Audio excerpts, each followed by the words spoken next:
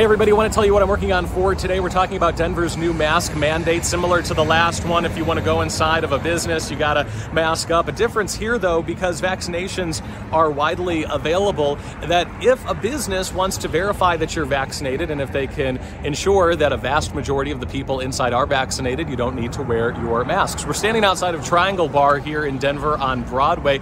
They've been doing that for a while now. You show up and you meet the bouncer at the door, and they make sure that you are vaccinated you have to show proof of that. So that is the option for businesses. Of course, some businesses that will work better than other businesses, and we are getting reaction from business owners.